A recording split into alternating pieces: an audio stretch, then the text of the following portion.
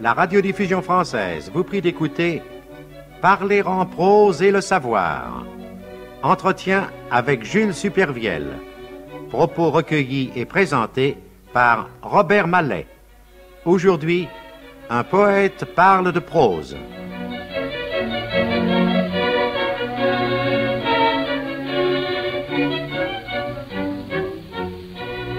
Jules Supervielle, vos poèmes nous donnent l'impression d'être aussi directs, aussi efficaces que des confidences en prose. Quant à vos pages de prose, sans jamais perdre une clarté exemplaire, elles ont un ton poétique. En somme, vous familiarisez le lyrisme et vous anoblissez le prosaïsme ou la prose. Vous représentez à merveille l'écrivain qui demeure ce qu'il est, ce qu'il est quoi qu'il fasse, et qui ne joue pas sur les deux tableaux. Il ne joue que sur un tableau, celui de sa sincérité, de son besoin d'expression, qui sont d'un homme dont la langue n'est pas préméditée. Vous écrivez naturellement ainsi à la charnière de la prose et de la poésie. Mais ne pourriez-vous pas tout de même, Jules Supervielle, essayer de définir ce qu'est la prose en l'opposant au vers? Mais très volontiers, je vais essayer. Il y a une prose qui tourne délibérément le dos à la poésie, et qui est en quelque sorte son contraire. Par exemple Eh bien, ce serait par exemple celle du Code civil, ou celle de Napoléon, ou celle des définitions du dictionnaire. Et il y en a une autre qui vit en parfaite intelligence avec la poésie, qui lui fait des avances plus ou moins déguisées, euh, comme celle de Chateaubriand, de Bossuet, de Jules Renard, de Claudel, de Valéry. Des proses bien différentes. Oui, j'ai choisi exprès des noms qui viennent un peu de partout, de tous les horizons de la littérature. Mais que ce soit en prose ou que ce soit en poésie, que représente pour vous exactement l'acte d'écrire? C'est une question un peu euh, difficile que je vous pose, mais j'aimerais vous faire préciser ce qu'est cet acte. Eh bien, je irai vers la plus grande simplicité, n'est-ce pas? Je vous dirais qu'écrire, pour moi, c'est d'abord la cristallisation de la pensée, la cristallisation en images ou en concepts qu'on voudrait originaux et frappants par le mouvement et la netteté. L'image et le lien commun entre la prose des prosateurs poètes comme Chateaubriand, Bossuet ou Claudel. Oui, vous avez dit que l'image était le lien commun entre la prose des prosateurs poètes et la poésie elle-même, mais on pourrait dire aussi que l'image est un lieu commun en faisant un mauvais jeu de mots. Oui. Mais je voudrais maintenant vous faire aborder ce, ce lieu commun euh, qui est la poésie, où se retrouvent justement les grands prosateurs, tant ils sont bien inspirés et lyriques, et les vrais poètes. Et je vous dirais que, à mon avis, on ne peut pas faire de poésie sans prose, alors qu'on peut faire de la prose sans poésie. Il semble donc Bien que la, le vrai lieu commun soit la prose et non la poésie. En effet, presque toute poésie, ou peut-être toute poésie, a un coefficient de prose sous peine d'être incompréhensible. Si nous prenons par exemple un auteur comme Victor Hugo, nous verrons que ce coefficient de prose est très fort chez lui. Je vais vous citer euh, un poème qui est dans toutes les mémoires et qui me paraît bien prosaïque, Beaux endormis. Voyez les six premiers vers. Beaux était couché de fatigue accablé, il avait tout le jour travaillé dans son air, puis avait fait son lit à sa place ordinaire, Bose dormait auprès des boisseaux pleins de blé. Ce vieillard possédait des champs de blé et d'orge, il était quoique riche à la justice enclin. On voit que tout est ordinaire ici. Il aurait pu faire son lit à une place extraordinaire, mais pas du tout. Il avait fait son lit à la place ordinaire. On dirait qu'il veut aller vers le lieu commun. Vers tout ce qu'il y a de plus ordinaire. C'est une critique que vous faites à Victor Hugo ou à Mais en passant, en passant à Victor Hugo, que Un que petit coup de griffe. beaucoup par ailleurs, dans bien des cas. Et vous opposeriez quel poète à Victor Hugo? Enfin, je présume que ce sera Mallarmé. Je vous... Eh bien oui, oui, évidemment, Mal- Mallarmé est à l'autre extrême, n'est-ce pas? Chez lui, le coefficient de prose, dans ses meilleurs poèmes, est très faible, il est presque nul. C'est ce qui le rend d'ailleurs si hermétique. C'est hermétique, oui, parce que on, on manque un peu de concept pour guider le lecteur, n'est-ce pas? En somme, plus on va vers la quintessence de la poésie, plus on va vers euh, un dépouillement qui se rapproche de l'obscurité. Oui, et chez les surréalistes, il est également très faible ou nul, ce coefficient de prose, puisque les images sont souvent accolées les unes aux autres. Sans aucun lien. Sans lien et sans souci de compréhension.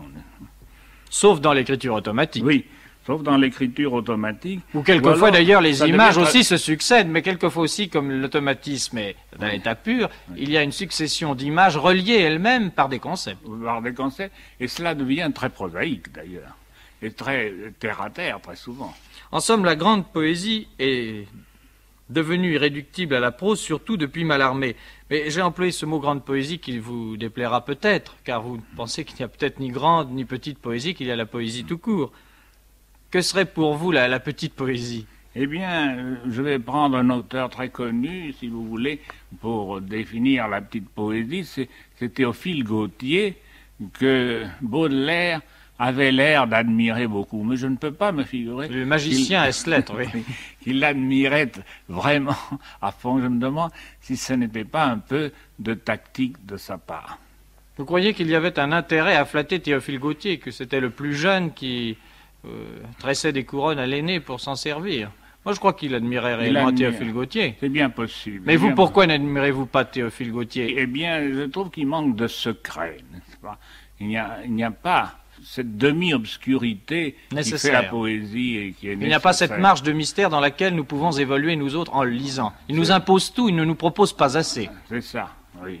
Vous l'avez parfaitement. Donc les, les petits poètes seraient pour vous des versificateurs. En gros, c'est certain. Mais il s'agit de faire des vers avec de la prose, il s'agit de passer de la prose au vers, de ce qui est en apparence le plus concret à ce qui est non pas abstrait, mais à ce qui représente une sorte d'émanation, de filtrage du concret. Alors, que représente pour vous ce transfert de la prose au vers, ou plutôt quel serait l'auteur qui représenterait pour vous le mieux celui qui serait à la charnière de ces deux styles? Eh bien, je crois que l'auteur le plus souple, le plus disponible de la littérature française, c'est La Fontaine.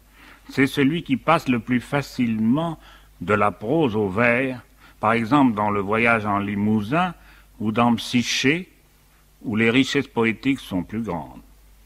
Il n'est jamais si prisonnier de la prose qu'il ne puisse la quitter pour le vers et réciproquement. C'est une force, c'est aussi un peu une faiblesse. Est-ce que vous pourriez me donner un exemple de cette force-faiblesse? Eh bien, de cette force, euh, vous connaissez les vers admirables sur la volupté. euh, par toi, tout se meut ici-bas. C'est pour toi, c'est pour tes appâts que nous courons après la peine. Il n'est soldat ni capitaine, ni ministre d'État, ni prince, ni sujet qui ne t'est pour unique objet. Nous autres nourrissons, si pour fruit de nos veilles, un bruit délicieux ne charmait nos oreilles, si nous ne sentions chatouiller de ce son, ferions-nous un mot de chanson? Oui, évidemment, nous sommes en présence d'une poésie euh, très, très près de la prose, mais tout de même d'une vraie poésie, à la limite. À la limite, oui. Et est-ce que dans les littératures étrangères, vous trouveriez quelqu'un à opposer ou à comparer à Ah, La Fontaine?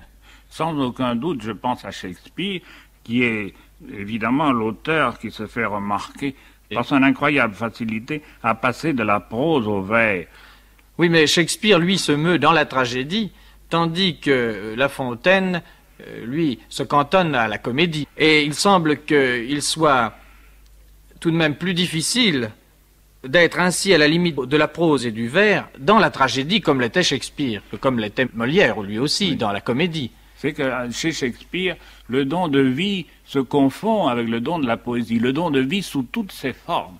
Même le don comique ou le don tragique de la vie, et, il est toujours disponible. Toutes les formes de prose ou vers sont toujours à sa disposition. C'est ici le génie qui transcende. Quoi qu'il fasse, prose ou poésie, il est dans le génie et le génie est toujours poétique au fond. Parfaitement. Et alors pour Molière, quelle serait pour vous la, la façon de le définir? Est-il un prosateur très prosaïque quand il fait des vers Il est généralement très prosaïque et grand versificateur, sauf dans certains débuts d'Amphitryon, qui est une merveille poétique, mais en général, ces vers sont faits pour plaire aux bourgeois français, qui sont même très souvent si lucides qu'ils en sont un peu effrayants et dépourvus de poésie. Oui, alors vous pensez donc que Shakespeare était un génie mieux, mieux fait pour séduire les Anglais que les Français? Oui, je crois. Bon, et eh bien maintenant, changeons un petit peu euh, de, de voix, car là j'ai l'impression que nous allons nous engager vers une euh, littérature comparée, qui n'est pas notre propos exact. Et je voudrais en revenir plus précisément à la prose, en l'opposant au vers, et je voudrais vous demander ce que représente pour vous l'acte d'écrire, comme je vous le disais déjà tout à l'heure, que ce soit en prose ou en vers? Eh bien, euh, d'écrire, c'est savoir dire tout ce qui vous passe par la tête ou par la fenêtre, comme dirait Lise Dehars. Mais ce n'est pas seulement ça, c'est surtout choisir. Choisir ce qui est fait pour aller ensemble. Vous vous rappelez ce que disait Valérie, trouver, ce n'est rien, la difficulté est de s'ajouter ce qu'on trouve. Oui, il faut intégrer les richesses rencontrées en cours de route dans celles qu'on a déjà trouvées. Donc, il faut s'enrichir des richesses qu'on a trouvées sur son chemin, qu'on a provoquées, aussi bien en prose qu'en poésie. Oui, Mais est-ce qu'il n'y a pas aussi une façon de s'enrichir en s'appauvrissant? Il y a Je ne sais pas si vous comprenez ce que je veux dire. Est-ce qu'il n'y a pas une façon de s'enrichir en, se faisant pauvre, c'est-à-dire en se ah dépouillant? En se dépouillant, oui, là nous sommes certainement du même avis. Il y a une façon de, de se dépouiller mm, qui montre euh, en quelque sorte l'os de la personnalité. Mais ensuite, on revient là-dessus et on... On applique de la chair. Oui, on, l'habille de chair. Mais il ne faut donc pas paraître luxueux a priori. Il faut commencer par dénuder la pensée pour l'habiller ensuite simplement. En prose, oui.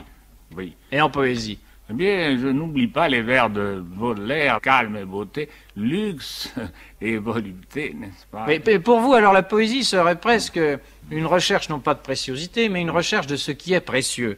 Je me rappelle ce mot encore de Valérie, il faut profiter de l'accident heureux. L'écrivain véritable abandonne son idée au profit d'une autre qui lui apparaît en cherchant les mots de l'idée voulue par ces mots mêmes. Oui, nous quittons donc ici le domaine de la préciosité et nous abordons celui de la trouvaille. C'est ça. Euh, car trouvaille et préciosité ne doivent pas être confondus. Bien sûr. Mais on pourrait dire alors là que le prosateur se rapproche du poète, car l'un et l'autre utilisent l'imprévu. Oui, et le poète, en particulier l'imprévu de la rime, de la cadence, pour, et souvent abandonne son idée pour une autre qu'il trouve en cours de route, que lui fait trouver la rime en cours de route. c'est ce que faisait si souvent Mallarmé. Oui. Et Valérie ajoute, et il passe pour profond et créateur, n'ayant été que critique et chasseur foudroyant. Vous vous rappelez aussi ce que disait euh, Jules Renard, qui partait à la chasse des images, mais ici, cette chasse foudroyante a quelque chose de foudroyant, de ramassé, oui, de foudroyant, on ne peut pas mieux définir que la trouvaille instantanée, le poète à l'affût de l'image et du mot qui traduit l'image et qui abat le mot comme on abat un gibier, le chasseur foudroyant. Je crois que c'est une façon admirable d'être prosateur pour définir ce qu'est la trouvaille en poésie. Et maintenant, j'aimerais que nous parlions de ce qu'est le prosateur dans son état de lucidité par rapport au poète. Il y a un état de lucidité chez le prosateur. Est-ce que cette lucidité vous paraît nécessaire aussi chez le poète ou au contraire est-ce que le poète vous paraît être a priori un être de rêve? De rêve, je veux dire qui rêve. Oui, il y a de grands poètes comme Valéry qui se sont beaucoup méfiés du rêve, qui ont mis de la lucidité à peu près partout. Mais n'empêche que j'admire aussi, et peut-être davantage, une poésie comme celle de Nerval, où il y a une marge plus grande pour la folie et l'inattendu. Mais pour l'inexplicable même. Oui, il y a chez Valérie, par exemple dans la Jeune Parc, qui est une sorte de rêve, il y a toujours une maîtrise. Il y a un gouvernement, un gouvernail. Mm. Et vous préférez parfois les poètes qui sont moins lucides dans leurs rêves, qui rêvent vraiment leurs rêves. Qui rêvent leurs rêves. Ben, la pensée a quelque chose de mouvant, c'est bien ce qui ressort de ce que vous dites. Alors j'aimerais que vous précisiez maintenant, dans ce mouvant, comment il faut fixer sa pensée. Eh bien, pour fixer sa pensée, dans une phrase, on est obligé de tuer ce mouvement en elle, ou plutôt de choisir un moment de la pensée au détriment des autres. Il faut donc être encore un chasseur, il faut tuer sa pensée en mouvement. La poésie, surtout la poésie moderne, n'a nullement pour mobile la pensée, mais elle est plus fluide et moins précise. Elle est sujette à de multiples interprétations.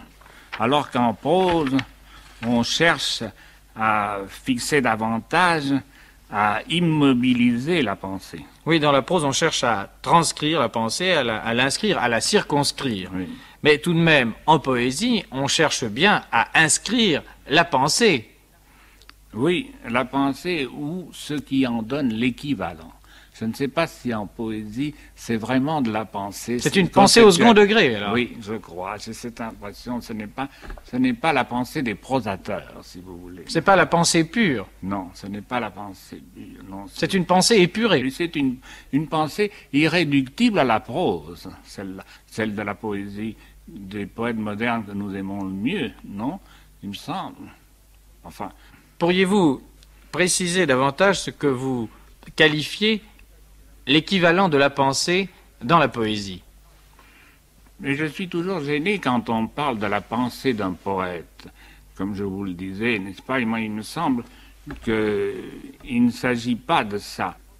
Non, vous pensez que le... Vous pensez, excusez-moi d'employer ce mot pour parler justement de ce qui est la négation de la pensée. Enfin, vous, vous avez cette conception, le poète ne doit pas avoir une pensée préconçue. Mais il se trouve tout de même que quand on lit un poème, on aboutisse à l'expression d'une pensée. On, a la sensation de trouver une pensée. Ou d'un état d'esprit. Est-ce le synonyme de la pensée? Mais je ne sais pas là si vous ne défendez pas votre poésie. Ah, j'ai bien possible. Vous n'avez pas besoin de la défendre, on ne l'attaque pas. Non, mais il se peut que malgré moi, je la défende.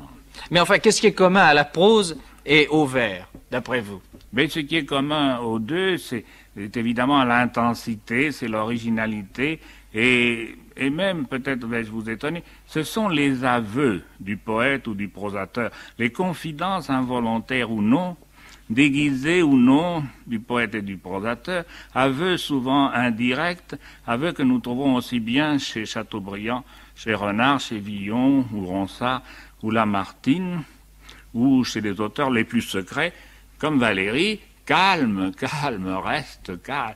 Il s'adresse à lui-même et il, dit méfie-toi, ne fais pas trop d'aveux. Mais alors, euh, les aveux, est-ce que ce ne sont pas des défauts de cuirasse?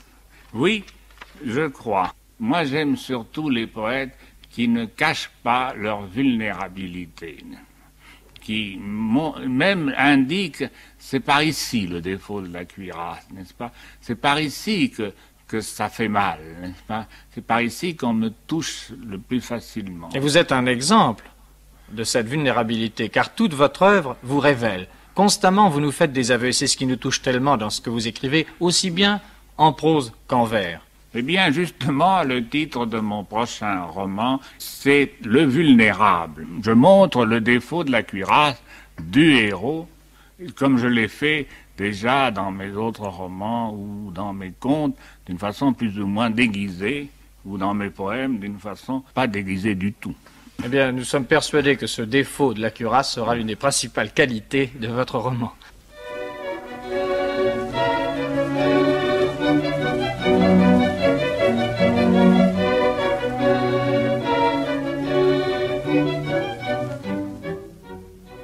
La radiodiffusion française vous a fait entendre Parler en prose et le savoir. Entretien avec Jules Supervielle. Propos recueillis et présentés par Robert Mallet. Aujourd'hui, un poète parle de prose.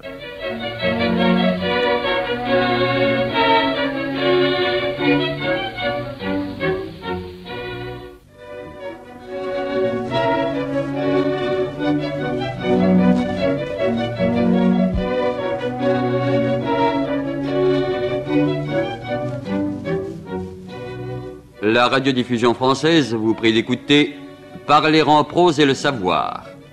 Entretien avec Jules Supervielle. Propos recueillis et présentés par Robert Mallet. Aujourd'hui, Chateaubriand et Claudel, ou la poésie d'un prosateur et la prose d'un poète.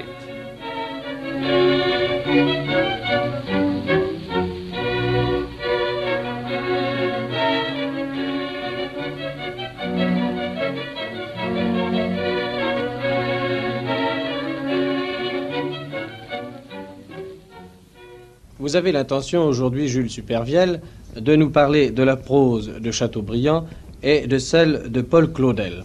Je pense que si vous avez choisi ces deux auteurs, c'est que vous avez l'intention, plutôt que de les comparer, de les opposer. Ma foi, je ne le sais pas trop. En tout cas, leur, leur propre grandeur les rapproche certainement. Et ce sont deux poètes, bien que Chateaubriand n'est pas écrit en vers, il est le père de toute une prose pleine de poésie. C'est un poète au sens originel, étymologique du mot, comme le veulent les Allemands, qui emploient toujours ce mot dans ce sens. C'est un petit peu paradoxal. Vous venez de dire que pour parler de la prose, nous allions en somme aborder deux continents, car ce sont véritablement deux continents que ces hommes, et ce sont deux continents poétiques. Eh bien, c'est que je trouve que les poètes n'écrivent pas mal la prose, et que ce sont peut-être même les meilleurs prosateurs, du moins ceux qui me touchent le plus. Oui, en effet, il n'y a pas de bons poètes qui n'écrivent pas bien en prose, tandis qu'il y a d'assez bons prosateurs qui écriraient de mauvais poèmes s'ils en faisaient. Et quelquefois, ils en font. Je vois bien ce que vous voulez dire quand vous parlez de Chateaubriand, poète. Oui. Vous voulez dire que chez Chateaubriand, il y a une poésie instinctive, une poésie involontaire. Et j'aimerais que vous vous expliquiez là-dessus, que vous nous parliez de cette poésie du prosateur Chateaubriand. Eh bien, moi, il me semble que le mieux serait de commencer par lire son texte, qui est assez éloquent par lui-même et sur lequel je compte beaucoup pour expliquer les intentions de l'auteur. Il est tiré du voyage en Amérique. Liberté primitive, je te retrouve enfin. Je passe comme cet oiseau qui vole devant moi, qui se dirige au hasard et n'est embarrassé que du choix des ombrages. Me voilà tel que le Tout-Puissant m'a créé, souverain de la nature, porté triomphant sur les eaux, tandis que les habitants des fleuves accompagnent ma course, que les peuples de l'air me chantent leurs hymnes, que les bêtes de la terre me saluent, que les forêts courbent leurs cimes sur mon passage. Qui dira le sentiment qu'on éprouve en entrant dans ces forêts aussi vieilles que le monde et qui seules donnent une idée de la création telle qu'elle sortit des mains de Dieu? Partout il faut franchir des arbres abattus sur lesquels s'élèvent d'autres générations d'arbres. Je cherche en vain une issue dans ces solitudes. J'écoute, un calme formidable pèse sur ces forêts, on dirait que des silences succèdent à des silences. Je cherche vainement à entendre dans un tombeau universel quelque bruit qui décèle la vie.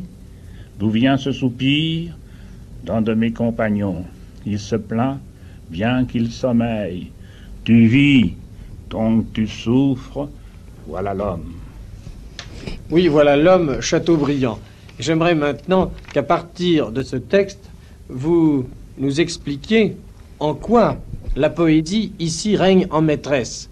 Il me semble que cela s'explique presque tout seul. Il est là parce que Chateaubriand est profondément poète et en quelque sorte malgré lui, qu'il le veuille ou non.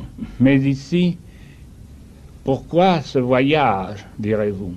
Je pense que ce n'était pas pour défricher les forêts d'Amérique. Non, il a voulu se déchiffrer et se défricher lui-même. Voilà bien un jeu de mots de poète, un jeu de mots presque involontaire qui vient au bout des lèvres euh, automatiquement. Donc il a voulu se déchiffrer. Il a voulu se délivrer de l'Amérique qui était en lui, avant même son départ. Vous pensez donc qu'il avait une conception de l'Amérique avant d'y aller? Ah, j'en suis absolument sûr. Une sorte de préjugé, Oui. comme il en avait Mais- beaucoup d'autres d'ailleurs. Mais il est au-dessus de la géographie au large de ses limites et en réalité il ne s'écoute que lui-même.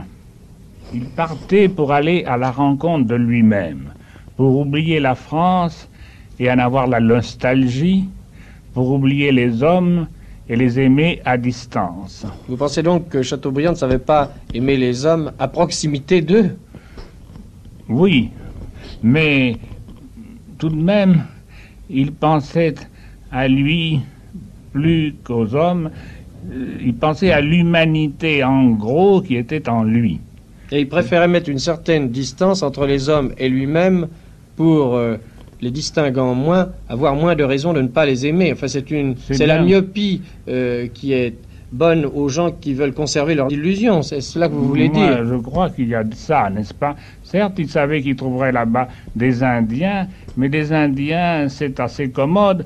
Ils ne parlaient pas leur langue, alors il pouvait peut-être mieux les aimer et mieux les choyer même de sa pensée et de ses images. Oui, les Indiens faisaient partie pour lui de la couleur locale. Il s'intégrait au paysage. Il avait un besoin d'exotisme et ces Indiens-là le lui proposaient. Comme les convolvulus dont il nous parle. Mais est-ce que vous pourriez trouver dans ce texte que vous avez lu une phrase qui symboliserait, qui résumerait bien ce qu'est Chateaubriand? Eh bien, il y a une phrase qui m'étonne entre toutes. Je passe comme cet oiseau qui n'est embarrassé que du choix des ombrages. Pourquoi vous étonne-t-elle cette phrase? Eh bien, je ne suis pas un ornithologue, mais je n'ai jamais eu l'impression qu'un oiseau fût embarrassé par le choix des ombrages. Ceci pourrait avoir l'air de sembler peu naturel dans ce morceau qui, par ailleurs, est constamment admirable. Mais la grandeur est si familière à Chateaubriand qu'elle déteint surtout même sur ce qui est fait de chic. Mais il porte avec lui sa vérité. Le grand écrivain n'est-il pas celui qui n'a jamais l'air de mentir? Oui, il porte sa vérité, dites-vous, mais alors il ne porte pas la vérité. Et c'est là que vous pensez que le grand écrivain est celui qui ne donne jamais l'impression de mentir. De mentir même quand il ment, bien entendu. Il peut mentir sans inconvénient. C'est une forme de la vérité humaine, de cette pauvre vérité qui change suivant les hommes et qui est à leur merci. Il est vrai qu'elle sort d'un puits toute nue et sans la moindre défense. Mais vous parlez ici de la vérité Oui, de oui. l'art, de la vérité que peut se permettre de travestir, bien qu'elle sorte du puits, ou peut-être parce qu'elle en sort, il faut bien l'habiller, cette vérité. Je crois que je parle des deux vérités, de la vérité de l'artiste et de l'autre aussi, qui, il me semble-t-il, est assez habillé de mille façons depuis un certain nombre d'années. Et vous pensez que Chateaubriand ne s'est pas fait faute de l'habiller à sa manière pour l'intituler tout de même La vérité. Mais il se trouve, si nous revenons au voyage en lui-même de Chateaubriand, il se trouve qu'on a même mis en doute l'existence de ce voyage en Amérique, alors qu'il l'a fait réellement en 1791. Il y a donc même dans la vérité historique des doutes qui font que nous ne sommes jamais sûrs de rien, euh, même sur les plans qui sont les plus éloignés de l'art. Mais est-ce que Chateaubriand, d'après vous, avait besoin de faire cette traversée pour connaître le nouveau continent? Ma foi, je n'ai pas cette impression. En tout cas, euh, il a, ça ne lui a pas fait de mal, c'est certain, mais, je, mais il avait voulu avant tout délivrer l'Amérique qui était en lui. Oui, c'est ce que vous disiez Oui, tout à l'heure. Alors oui. j'aimerais que vous me parliez maintenant de l'attitude psychologique de Chateaubriand dans ce texte. Eh bien, c'est en cela qu'il est profondément poète. Et Chateaubriand se prend très honnêtement pour le premier homme en face de l'univers. Oui, et en quoi il se rapproche de Paul Claudel, dont nous parlerons tout à l'heure, car Paul Claudel a dit, c'est une de ses phrases célèbres, qu'il faut pour le poète être le premier homme qui absorbe la première gorgée d'air. C'est ça. Et alors, euh, Chateaubriand rejoint sans escale dans le temps les premiers jours du monde en toute tranquillité, parce que le temps ne gêne pas plus le poète que l'espace. Et je crois que Chateaubriand ajoutait même à cette idée de priorité une autre idée. Est-ce que vous ne pensez pas qu'il se croyait aussi le seul homme? Bien sûr. Bien sûr, comme tout artiste se croit le seul artiste, le seul poète, euh, le seul peintre, le seul sculpteur. Mais vous, vous pensez-vous être le seul poète? Non, mais tout de même, quand j'écris, il y a un moment où je crois être le seul. Après, je ne suis plus tout à fait de cet avis. Oui, au moment de la création, vous Oui. pensez être le seul. Oui. Mais quand vous vous entendez, quand on lit vos œuvres, à ce moment-là, la modestie chez vous l'emporte et vous ne pensez plus que vous êtes le seul. Parce que je suis un être relativement raisonnable. Nous allons passer maintenant à un autre poète, alors cette fois-ci à un poète qui disait qu'il l'était. Nous allons parler de Paul Claudel et ici encore, nous allons aborder à une forme de prose qui est poétique et à une forme de poésie qui est prosaïque. Quel est le texte de Paul Claudel que vous avez choisi? Eh bien, c'est la pensée en mer tirée de connaissances de l'Est. Voulez-vous que je vous le lise? Oui. Le bateau fait sa route entre les îles. La mer est si calme qu'on dirait qu'elle n'existe pas. Il est onze heures du matin et l'on ne sait s'il pleut ou non. La pensée du voyageur se reporte à l'année précédente. Il revoit sa traversée de l'océan dans la nuit et la rafale, les ports, les gares, l'arrivée le dimanche gras, le roulement vers la maison, tandis que d'un œil froid il considérait au travers de la glace souillée de boue les fêtes hideuses de la foule. On allait lui remontrer les parents, les amis, les lieux, et puis il faut de nouveau partir. Amère entrevue, comme s'il était permis à quelqu'un d'étreindre son passé. C'est ce qui rend le retour plus triste qu'un départ. Le voyageur rentre chez lui comme un hôte. Il est étranger à tout, et tout lui est étrange. Servante, suspend seulement le manteau de voyage et ne l'emporte point. De nouveau, il faudra partir. À la table de famille, le voici qui se rassied, convive, suspect et précaire.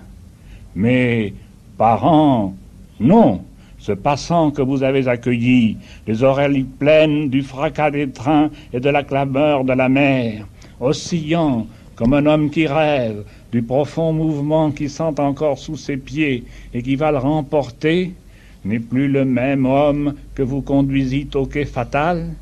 La séparation a eu lieu et l'exil où il est entré le suit. Ce très beau texte de Paul Claudel représente pour vous un poème en prose ou une prose poétique? Eh bien, c'est presque un poème en prose, mais je ne trouve pas tout de même qu'il ait suffisamment coupé ses amarres avec la vie de Claudel euh, pour qu'on puisse le désigner comme poème en prose. Par exemple, dans le sens de Baudelaire, ce n'est pas un poème en prose détaché et ayant sa vie propre, bien qu'on puisse parfaitement le lire à part et qu'il forme un tout bien constitué. Qu'est pour vous un poème en prose? Pourriez-vous le définir d'un mot? Eh bien, c'est une île. Et les ponts n'existent pas avec la vie. C'est un tout isolé. Vous pensez donc qu'ici, il y a un isolement, mais qu'il y a des ponts qui rattachent l'auteur au monde, au continent. Oui, tout de même, comme pour, comme pour Chateaubriand tout à l'heure. Ici, c'est le poète diplomate, voyageur, qui ne sait plus être là où il se trouve. La pensée du voyageur, dit-il, se reporte à une année précédente. C'est une escale dans le temps. C'est une sensation en mer, pourrait-on dire, aggravée par tout le poids de la terre des hommes. Et il y a la traversée et l'arrivée du poète chez lui, et il y a cette phrase que je trouvais extraordinaire et qui vous a frappé, je crois aussi. On allait lui remontrer les parents, les amis, les lieux. Il fallait de nouveau partir. C'est sans doute le on qui vous paraît énigmatique. Que oui, représente oui, comme- on oui, ce, ce- ce ton me paraît très étrange et, et très poétique euh, dans son ambiguïté. Est-ce la femme du poète, cet on Est-ce le destin? Est-ce le Dieu tout-puissant?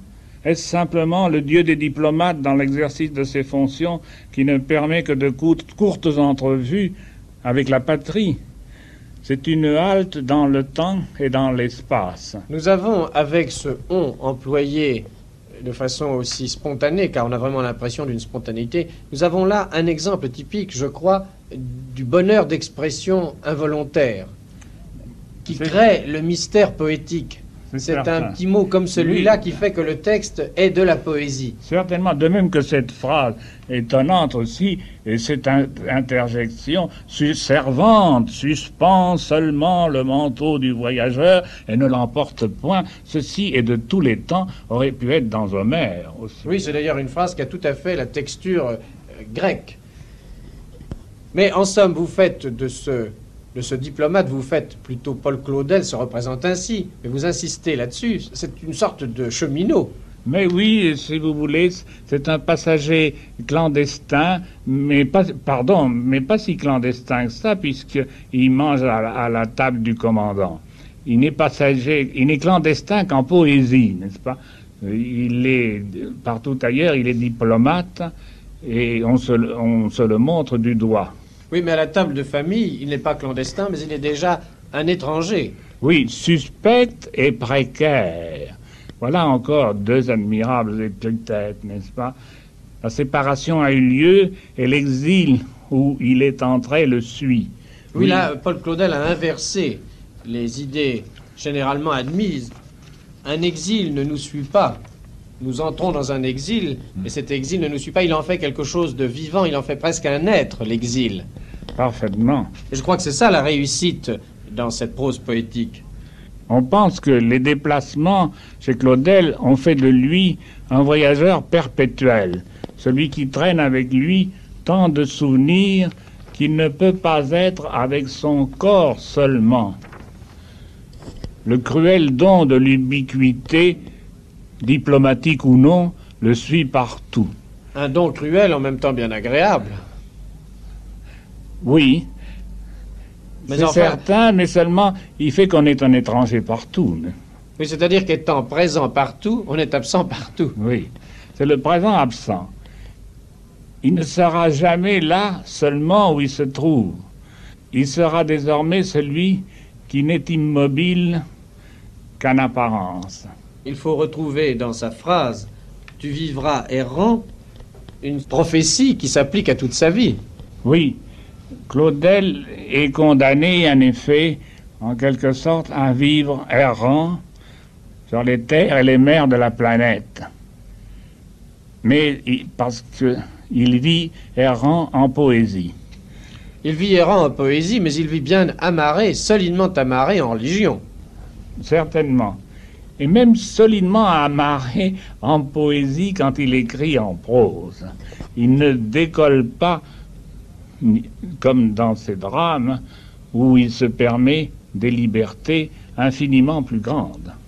J'aimerais vous poser maintenant une question un peu indiscrète. Euh, Parmi les textes de connaissance de l'Est, il y en a beaucoup. Ces textes ont été écrits par un homme de 27 ans, je le précise. Donc un homme qui était sur le bord de la maturité, mais qui n'était pas encore mûr. En tout cas, parmi ces textes, Comme Chateaubriand d'ailleurs, comme le texte de Chateaubriand que j'ai choisi, c'est aussi un texte de jeune homme. oui, et tout au moins d'hommes jeunes. Homme jeune. oui. Et, mais dans ces textes, vous auriez pu choisir un autre fragment. Je voudrais savoir pourquoi vous avez choisi celui-là en particulier. Il est particulièrement beau, en effet, mais il y en a d'autres qui ont leur charme. Hélas, ne me le demandez pas trop. Vous y trouveriez peut-être une raison égoïste et dont je suis assez confus. Dites-la tout de même. Eh bien, c'est que ce qui est peut-être mon meilleur conte, L'enfant de la haute mer, qu'est-ce que c'est sinon une idée en mer? Mais je crois qu'il n'y a aucun égoïsme à nous expliquer pourquoi subjectivement vous aimez ce passage de Paul Claudel. Oui, hélas, un poète, surtout quand il est profondément subjectif, ne peut faire qu'un genre de critique et il est involontairement égoïste.